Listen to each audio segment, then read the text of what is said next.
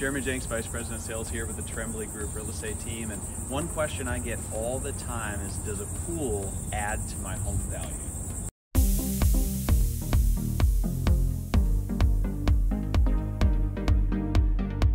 So we're going to talk a little bit about what does a pool do to my home value, and it is uh, about a 90 degree degree day down here in uh, sunny Myrtle Beach, South Carolina, and so I, I get folks who come from different markets, and the conventional wisdom.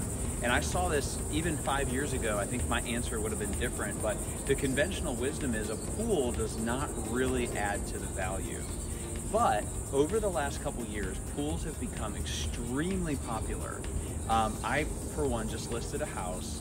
Um, it had a brand new pool that was just installed. The owners were having to move away, and we had an absolute multiple offer bidding war in about the first two days. It was unbelievable, way over asking price. And so what happened is there's so few pool houses that have pools on the market that it drove up the sales price of that house. Now, are you if you spent $100,000 on this beautiful pool and backyard kitchen and everything, are you going to get $100,000 out of it? Probably not because it's not brand new anymore.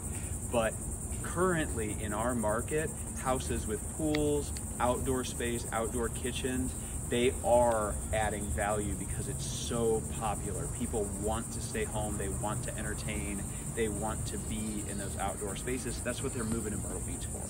So if you have any specific questions, feel free to reach out to my team and I, jeremy at thetrembleygroup.com.